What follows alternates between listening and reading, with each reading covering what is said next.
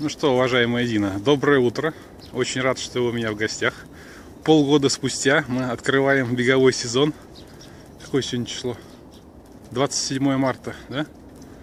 Да. Ну и раз ты несколько дней в Москве и гостить будешь, как ты смотришь, сможем мы устроить интересную трансляцию для людей?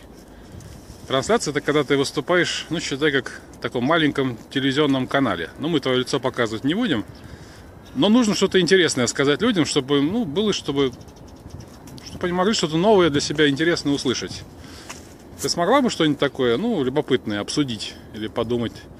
Ну, ну я бы предложил какой-нибудь э, мультик, сказку глубокую, например. Расскажешь нам про свои приключения с лисой, тоже интересно. Ну, это так, для вступления. Осилим? Наверное, не сегодня, мы подумаем, какой день. Ну, в общем, сможем. Может, сестру твою привлечем еще, Лину, раз уж она тоже здесь. Смоем? Ну что, физкульт, привет. Ты розовый, как поросеночек. Побежали домой?